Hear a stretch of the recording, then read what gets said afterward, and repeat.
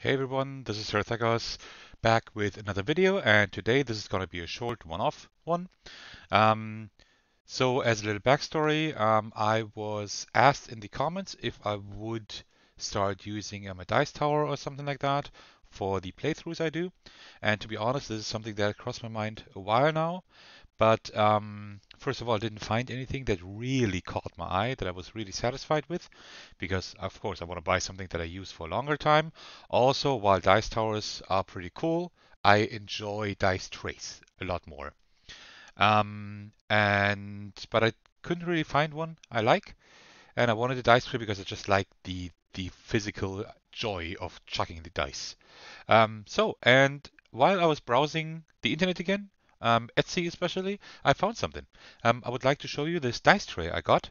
It's really cool. Um, so this is a portable um, leather dice tray, um, personalized as you can see.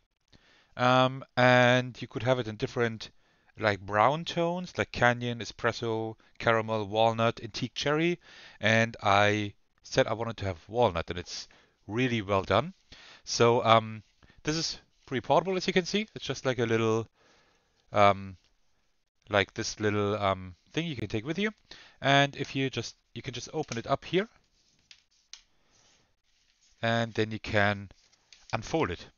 And as you can see, there is like a second engraving here, like a music note, because music is the biggest passion in my life.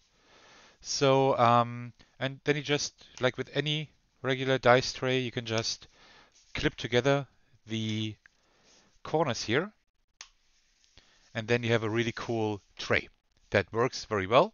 Um, you can of course use it for storing anything, but um, you can just use it for checking dice. So as an example, let me get some of my dice here. So there we go. So let's see, I'm having my RPG sessions or anything, then I can just chuck them all in here. That's pretty cool. So um, yeah. So I mean, it's not as loud as a dice tower, and I can really chuck chuck the dice in here. That's pretty cool. Um, and of course the engraving. So I got the music note here and at the front I got um, my name, Sir Thecos. So that's really, really nice. And that's pretty much all. So, um, and then you can just undo these corners again and you just roll everything back up like that and put these straps around here. And that's pretty much um, everything. It's pretty easy, you see. I can just do it like this and like that. Come on. Uh, let's do it the same same way around so it's a little bit nicer. Come on. Okay, this is just because the camera is rolling. I usually don't have these issues. Okay, there we go.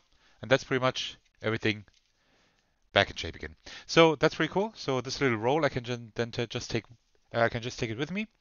Um, so I'm not I'm not sponsored or anything, but um, I like this product really a lot, and I think it's still it's still reduced. There's still a reduced price on that. So I will just leave a link in the description just in case you're interested.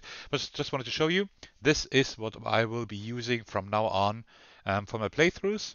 So no more chucking dice on the table or on on books or game boxes. All right, that's it. Uh, thank you for watching, and I will see you in the next video. All right, take care, everyone. Bye bye.